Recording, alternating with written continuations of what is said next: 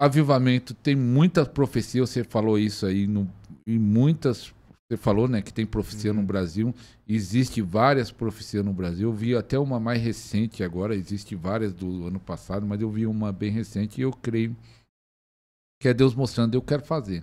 Uhum. O que precisa a igreja fazer, se posicionar para ter esse avivamento no Brasil?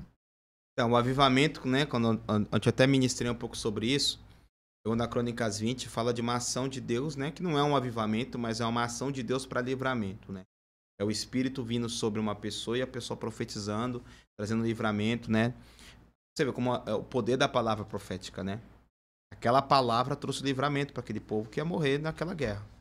Aí o, prof, o o rei, chama o povo para orar e jejuar. E vem o profeta, e o profeta fala, né? Inspirado por Deus, e Deus dá vitória por causa da palavra, né? Toda aquela movimentação. A igreja, pastor, ela precisa. Estava até pensando sobre isso, né? Primeiro, fome. Fome. Fome é algo que te move, cara. Eu tô com um pouco de fome aqui, que eu não almocei. Me move. Fome vai te mover. A sede vai te tirar a tranquilidade.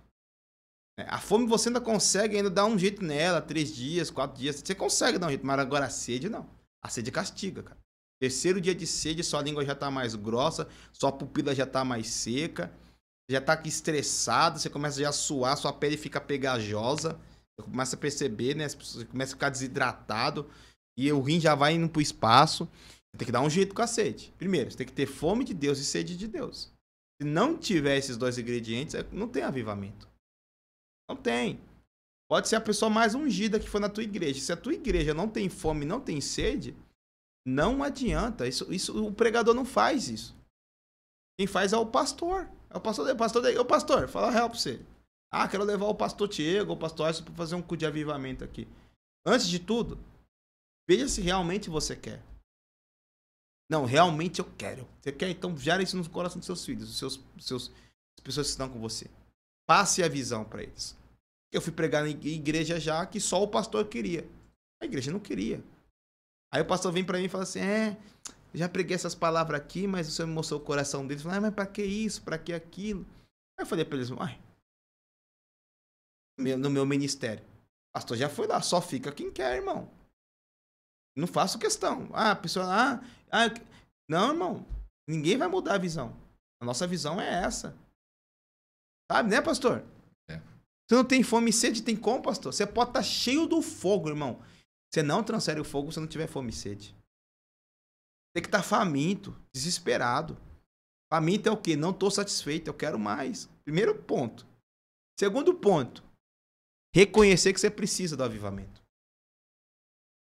As igrejas que estão hoje rodando grana, e aquele programa todo, e canta bem, e toca bem, aquela palavra rebuscada, a pessoa sai com aquela palavrinha no coração acalentada, não quer avivamento, tá tudo dando certo, irmão.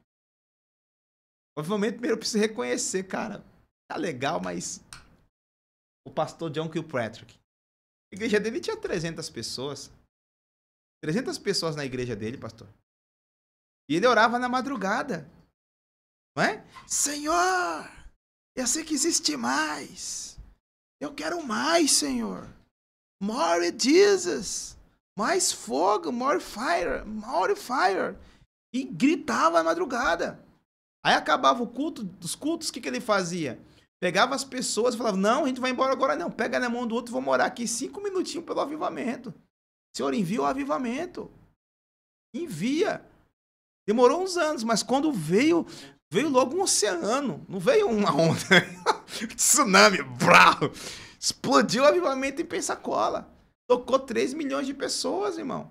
Centenas de milhares de vidas foram impactadas pelo avivamento em Pensacola. É, e um avivamento muito, muito lindo, porque é o último que a gente sabe dessa proporção assim. É, tem a da, da Colômbia, só que é uma outra vertente de avivamento também. Mas ali é o quê? É o Lyndon Cool cantando, Steve Hill pregando e o John Kilpatrick como pastor da igreja. Pô, juntou três pessoas. E nenhum ficou com vaidade do outro. Tipo, o, o, o Steve falava pro John Kilpatrick: prega. É John Kilpatrick, não. Você. Não, prega. Não, não, não. Só tô aqui só pra guardar. Você que prega. E o John Kilpatrick pregava, o Steve Hill pregava e o John Kilpatrick dava glória. Aleluia. O que você viu no retiro, pastor? Eu fiz questão de pregar? Como é que a gente vai viver o avivamento, irmão, se a gente tem essas mazelinhas no coração, querido? Não. Vim por meio de mim. Cara, não é essa a oração de quem quer avivamento. Senhor, eu faço o avivamento, deixa eu só experimentar. Não importa que se eu, levante, deixa eu viver, deixa eu, deixa eu contar para os meus filhos. Deixa eu contar para as próximas gerações o que o Senhor fez no passado. Deixa eu contar para eles o que é um avivamento. Eu quero falar para meus filhos, ó, eu vi a pessoa cair no meio da rua. Eu quero contar. Eu vi os irmãos sair embriagados da igreja e voltar da outra semana embriagado. Eu quero contar isso. Eu vi a paralítico, eu vi, filho, eu vi o paralítico passar na frente da igreja e levantar. Histórias inéditas da Rua Azul, eu vi pessoas sem dente, Deus colocar dente na boca das pessoas, nem de ouro não, dente de, de osso. Eu quero ver isso. Se, se eu vou ser instrumento, não importa, importa que eu veja, que eu tenho uma história para contar. Agora, quando o coração ainda tá assim, não, tem que vir por meio de mim. Porque tem. Né? Você já ouviu isso aqui no Brasil, né? Ou vai vir daqui, vai vir do sul, do avivamento sul, vem do né? sul.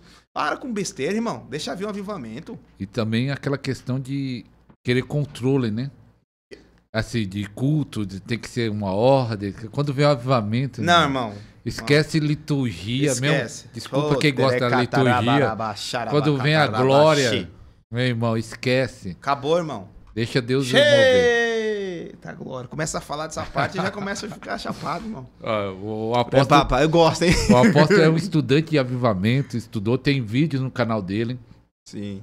Depois você fala após seu canal e Instagram. É, mas tem vídeo ele contando a história de Pensacola e alguns.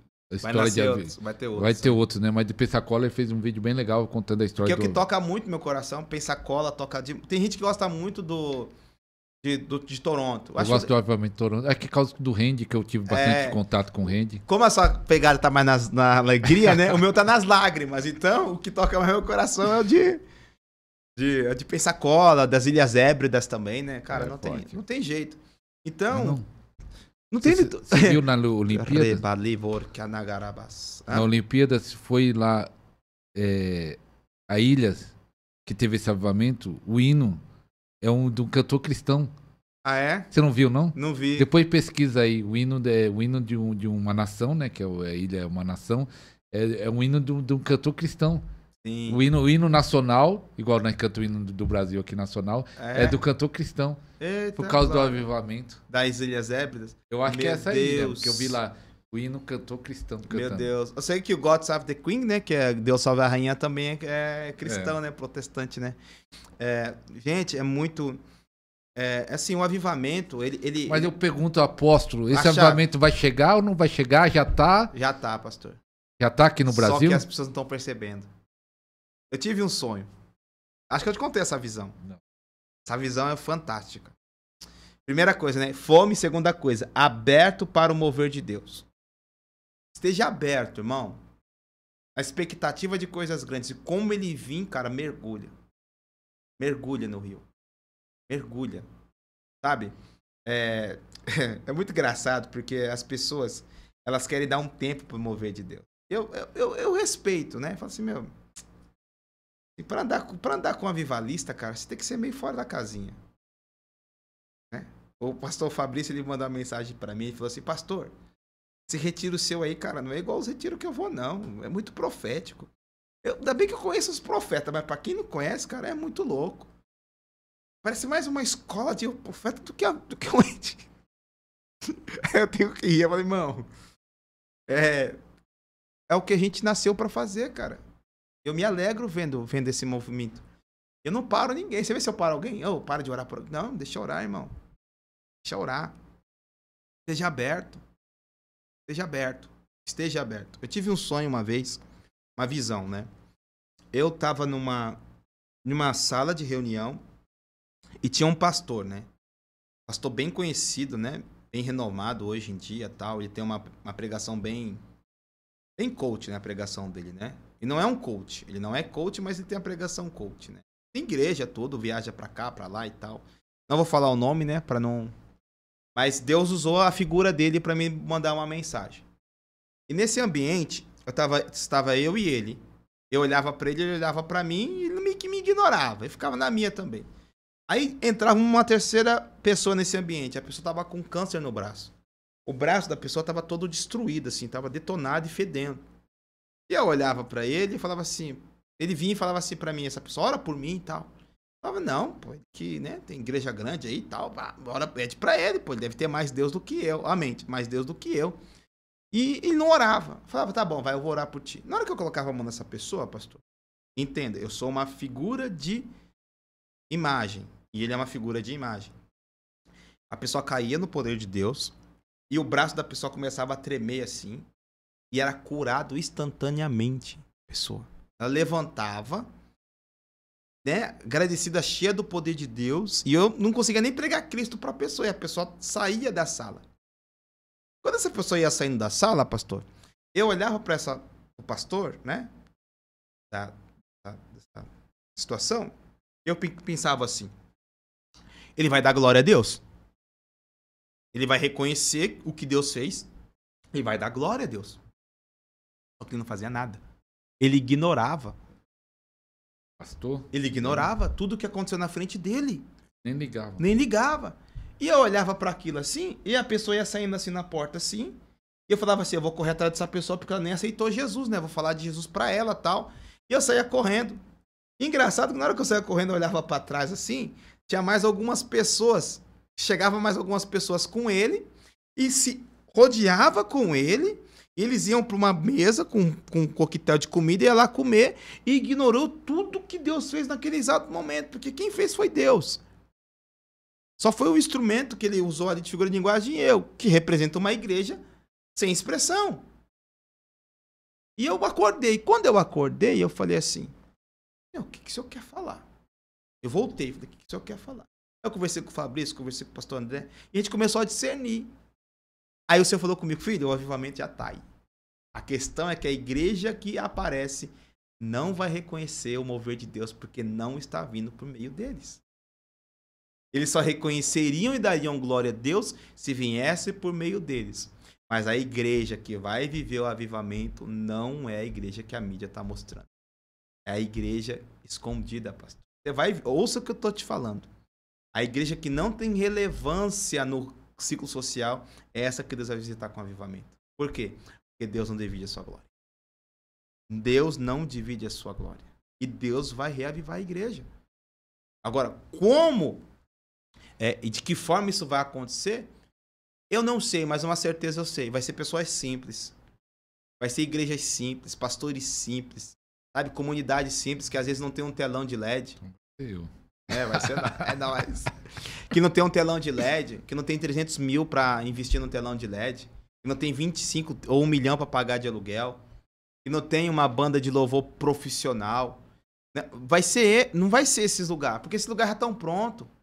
Já estão fechados com seus cronogramas, já estão fechados com seus itinerários, já tem a sua programação anual até o final do ano. Ué, quando é que Deus vem? Peraí. Eu fiz meu programa aqui até o final do ano. Eu tenho o culto da, casal das mulheres, eu tenho isso aqui, eu tenho dos jovens, eu tenho isso aqui, eu tenho. E, e, e, se Deus quiser pegar assunto lá, não.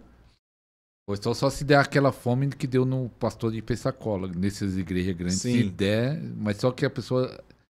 Ela que... vai perder a maioria das pessoas. Não vai, pastor. Não vai. Você já foi pastor de igreja não, grande. Tava lá. Você sabe quando começa a vir um mover. Acho, acho que o podcast que eu fiz com o apóstolo Tiago Ferraz, quando ele entrou no mover, perdeu um monte de membros. Sim. Perde. Perde. Perde. O perde. Bill, Bill Johnson também conta lá Sim. na igreja Betel. Quando houve o avivamento lá, muita gente saiu. Sim. Hoje tá grande, né? Mas é o preço que teve que pagar. Não, mas você paga um preço. É. Seja um mantenedor deste ministério.